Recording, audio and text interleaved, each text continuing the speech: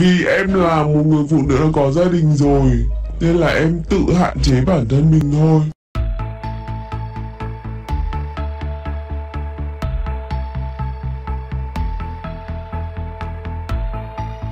Xin chào các bạn, dù được mệnh danh là cặp đôi đẹp nhất màn ảnh truyền hình phía Bắc từng sánh đôi trong 6 bộ phim nhưng Hồng Đăng và Hồng Diễm chưa hề có nụ hôn đúng nghĩa.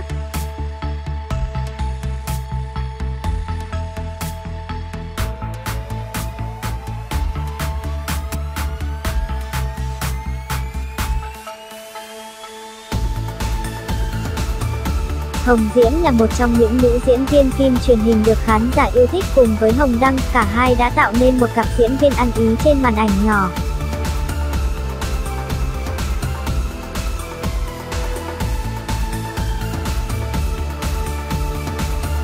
Có một điều đặc biệt dù đã tham gia khoảng chục bộ phim truyền hình, phần lớn là vai nữ chính liền thục, xinh đẹp, được nhiều chàng trai theo đuổi nhưng chưa một lần, Hồng Diễm có cảnh hôn trên phim.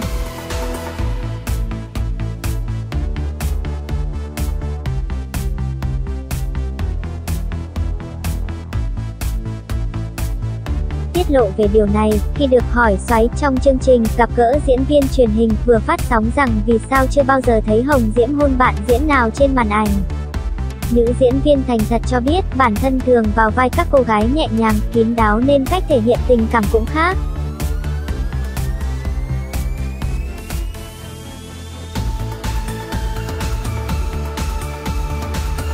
Hơn nữa kể từ khi có gia đình chị có nguyên tắc là không để công việc ảnh hưởng tới gia đình, chính vì thế cho dù ông xã không yêu cầu nhưng Hồng Diễm không bao giờ phá vỡ quy tắc ấy.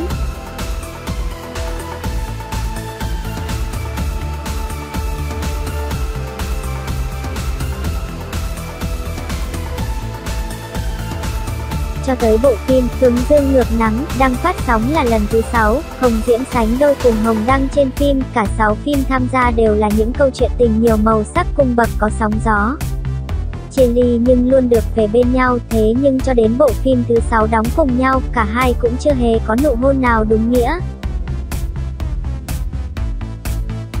Thực ra những vai tôi đóng đều thuộc tuyết phụ nữ nhẹ nhàng, kín đáo cho nên cảnh tình cảm quá cũng bị hạn chế. Một lý do nữa là tôi là phụ nữ có gia đình rồi nên bản thân tự hạn chế bản thân mình. Mỗi người có một quan điểm và đó là quan điểm của tôi, Hồng Diễm chia sẻ.